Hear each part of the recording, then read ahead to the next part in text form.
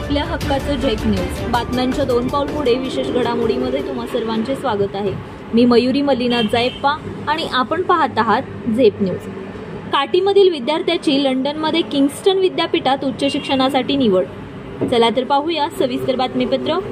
तुळजापूर तालुक्यातील काटी येथील विद्यार्थी चैतन्य संतोष साळुंके या विद्यार्थ्याची उच्च शिक्षणासाठी लंडनच्या सिंगस्टन युनिव्हर्सिटीत निवड झाली.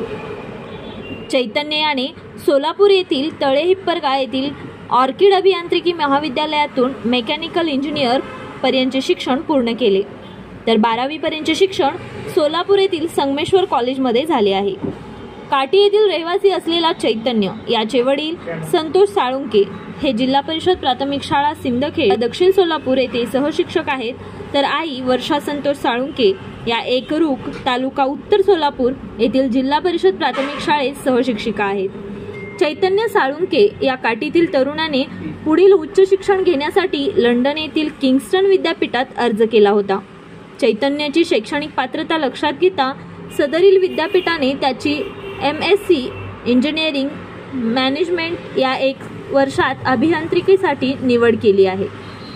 तो पुढील शिक्षणासाठी दहा सप्टेंबर दोन हजार तेवीस रोजी लंडनला रवाना होणार आहे. त्यांनी मिळवलेल्या यशाबद्दल धाराशिव जिल्ह्याच्या शिरपेचात मानाचा तुरा रोवला असून त्याचे सर्वत्र कौतुक होत आहे. चैतन्य आपल्या नावाप्रमाणे चैतन्य पसरवीत एका नव्या प्रवासाला निघाला आहे. हा त्याच्या प्रवास यशाची व सुंदर हा त्याचा प्रवास यशदायी व सुंदर ठरो हीच आम्हा सर्वांची इच्छा व झेप न्यूज परिवारातर्फे चैतन्याला पुढील वाटचालीस हार्दिक शुभेच्छा. धन्यवाद.